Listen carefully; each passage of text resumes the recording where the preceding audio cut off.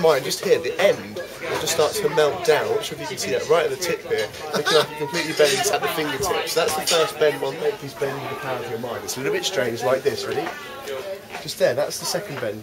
Just there. Oh, Okay. pretty, pretty peculiar. Pretty peculiar, right?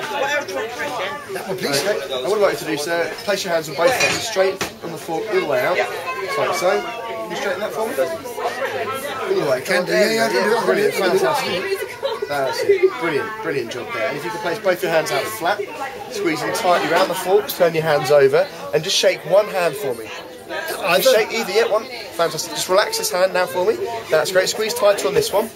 And if I just get this nice on the camera, I'm going to take this and just twist it very gently once, just there. Did you feel that pinch a little bit here? A little bit, just If you open the hand, look what's happened.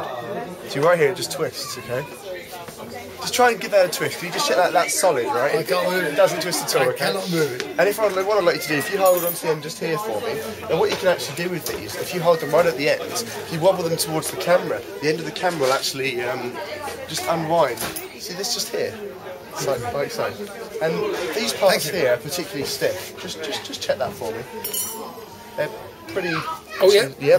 What you can also do with these, you can actually take these, placing your finger right here.